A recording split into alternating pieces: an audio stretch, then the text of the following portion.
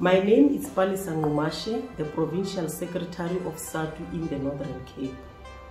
We are in the last week of vaccination for teachers and support staff. We are left with only three days before we conclude the program.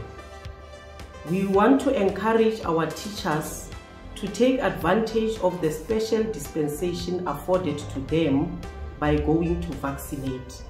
It is critical that we all vaccinate to fight this invisible monster that is taking our lives. You are the assets of education, your life matters, and it's critical that we remain safe.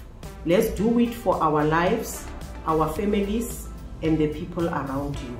I thank you.